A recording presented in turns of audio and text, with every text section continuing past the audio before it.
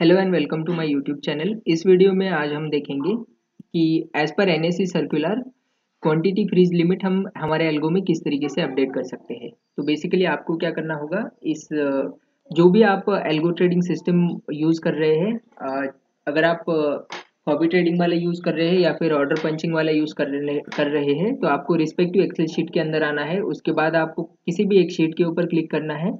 And unhide वाला option select कर लेना है। इसके बाद आपको क्वांटिटी कॉन्फ़िगरेशन वाला विंडो सेलेक्ट करना है। जैसे ही आप क्वांटिटी कॉन्फ़िगरेशन सेलेक्ट करोगे तो आपके पास ये वाला विंडो ओपन हो जाएगा। यहाँ पे आपको क्या करना है? हमें बेसिकली ये जो मैक्सिमम क्वांटिटी मैक्सिमम क्वांटिटीज़ वाला कॉलम है, इसको ही अपडेट करना है। जैसे कि निफ्टी के लिए previously 5000 quantities as a freeze limit था, लेकिन अभी अपडेट होके इसको कर दिया है टू एट डबल ज़ीरो तो आपको क्या करना होगा, निफ्टी वाले कॉलम के अंदर आना है सेल के अंदर आना है, यहाँ पे टू एट डबल ज़ीरो लिखना है। उसके बाद फिर निफ्टी के ऊपर आना है टू एट डबल ज़ीरो जो भी हमारा अपडेटेड होगा, वो वहाँ, यहाँ पे लिखना है। मैं एक बार चेक कर लेता हूँ। बैंक निफ्टी के लिए ट्वेल्व हंड्रेड निफ्टी के लिए टू एट डबल ज़ीरो एंड फिर निफ्टी के लिए two eight double zero, okay?